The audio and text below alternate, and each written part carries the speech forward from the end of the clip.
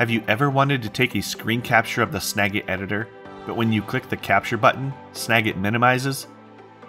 Well, here's how. From the Snagit capture window, click File, Capture Preferences. Under the Capture tab, uncheck the box next to Hide Snagit when capturing. Click OK, and let's give it a try. Now you can easily show your coworkers what your Snagit toolbar looks like.